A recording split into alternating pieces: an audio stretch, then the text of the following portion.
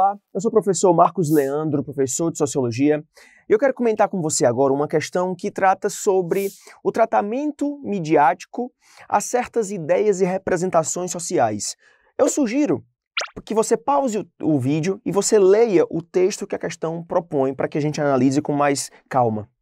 Supondo que você pausou e leu o texto com atenção, veja o que o enunciado diz. No texto, o tratamento predominante na mídia sobre a relação entre saúde e corpo recebe a seguinte crítica: dois pontos. Veja, se você prestou atenção no texto, se você leu atentamente, você percebe que existe uma ideia veiculada na mídia de forma tradicional, sobretudo ao longo do século XX e continua no século XXI, a ideia de que o corpo saudável é o corpo magro e que o corpo gordo, o corpo com excesso de gordura, seria um corpo doentio. E é justamente esta é a crítica, é contestando essa ideia que a jornalista do texto, a escritora do texto, uh, está fazendo uma denúncia. Se você perceber, veja, a crítica na mídia sobre a relação entre saúde e corpo recebe a seguinte crítica, dois pontos. Alternativa A diz, difusão das estéticas antigas. Não, você percebe que ela está contestando, né? Então ela não quer que se difunda uma estética antiga. Lembrando que o padrão de beleza, aquilo que um, uma sociedade acha como bonito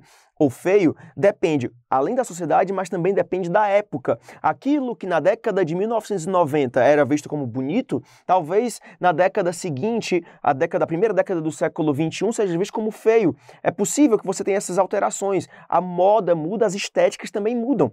Veja, a alternativa B diz: exaltação das crendices populares. Também não, em momento algum é essa a crítica. Não se fala de crendices populares, se fala que a mídia constrói uma ideia.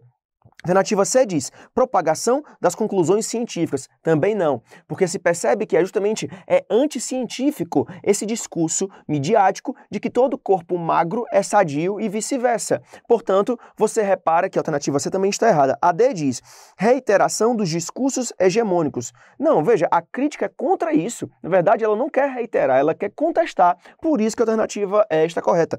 Contestação dos estereótipos consolidados. Esta é a denúncia que é feita. Portanto, a única alternativa possível seria a alternativa E. Eu espero ter ajudado você e até a próxima questão.